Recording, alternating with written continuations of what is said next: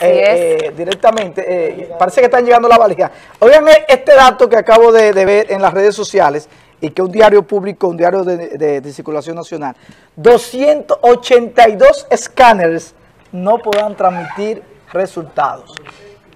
282 escáneres ¿Cómo, cómo? Scanners. Escáner, Roberto. Scanners. no, Oye, no podrán transmitir, señores. Tendrán que contar uno a uno, al parecer. ¿Eh? Pero, lo, terrible, mira si vamos, mira si vamos en avance. Por eso es que todo el éxito que hablaba, que hoy, de la Junta es relativo. ¿Eh? Es relativo el gran éxito que hablaba el presidente de la Junta en la primera rueda de prensa, hablando del gran éxito. Sí, pero es se, ha avanzado. Sí, pero el, entre comillas. el éxito hay que esperar que pase. Del voto, Correcto. Hay que hemos avanzado porque vamos del voto automatizado los escáneres otra vez. Ah, no hemos avanzado, hemos puesto la reversa. Y al voto manual. Ahora, pregunto yo, ojalá ustedes, Joanny o nuestros invitados, me puedan contestar, o el público televidente, esos escáneres eran los que estaban guardados de las elecciones cuando Roberto... No, Roberto no, no, no.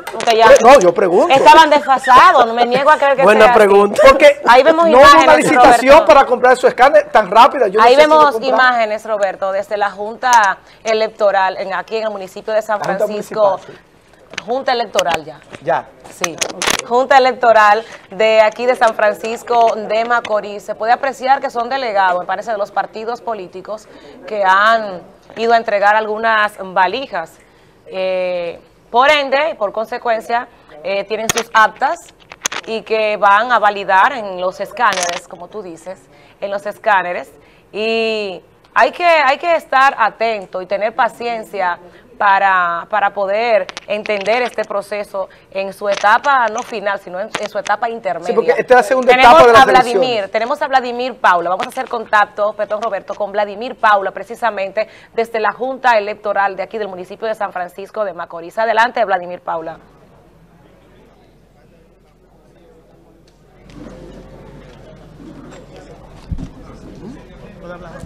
Bueno, señores, continuamos en esta cobertura total. Vemos el proceso de la primera valija que ha llegado procedente desde la Capilla San Miguel en el ensanche Abreu, aquí en San Francisco de Macorís.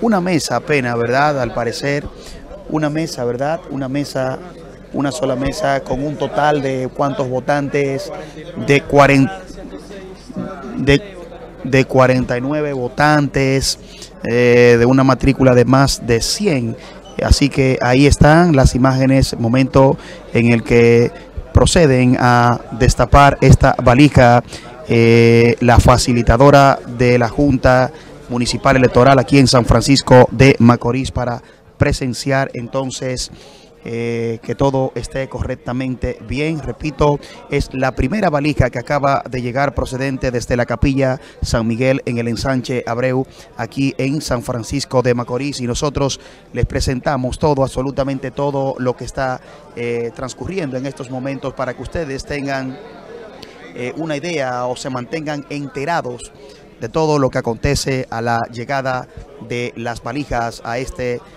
recinto a esta Junta Municipal Electoral aquí en San Francisco de Macorís. Cobertura total, en vivo.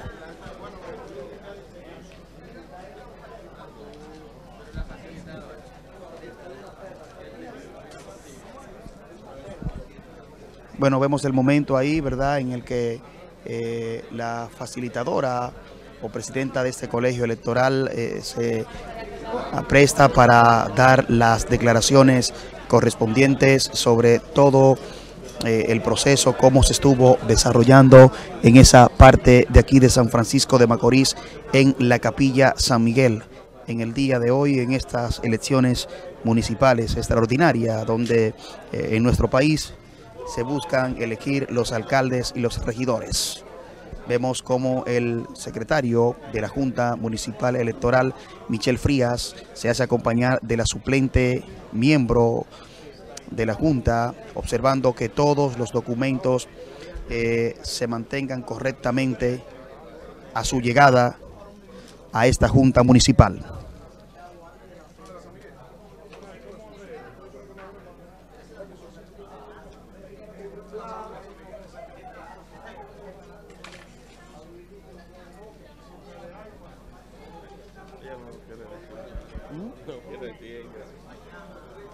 No, brevemente, ¿cuántos votantes? ¿Cuántos votantes?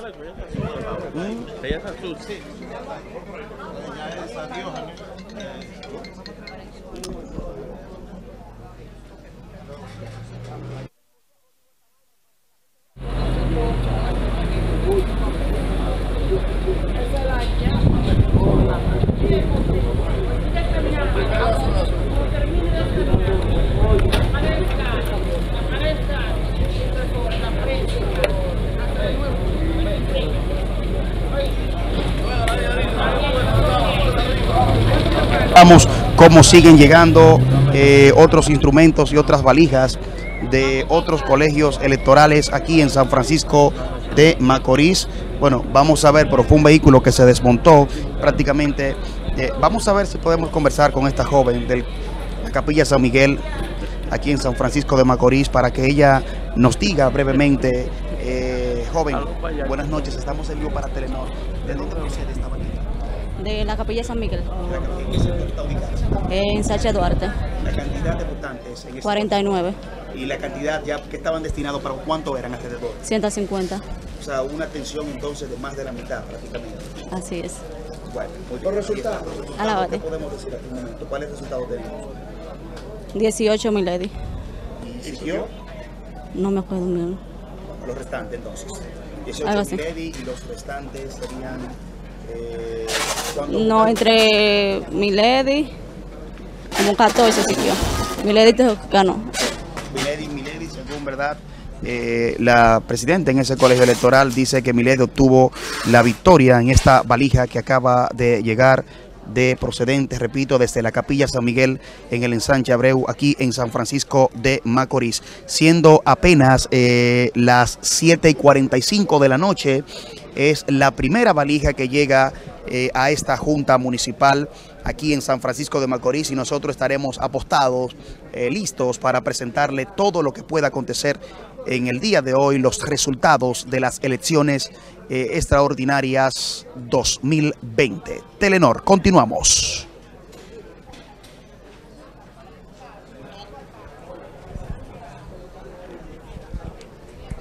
Redes sociales, Roberto, hacerle mención a quienes han sintonizado desde tempranas horas de la mañana en Facebook, en YouTube, en Twitter, en Instagram, a través de la página de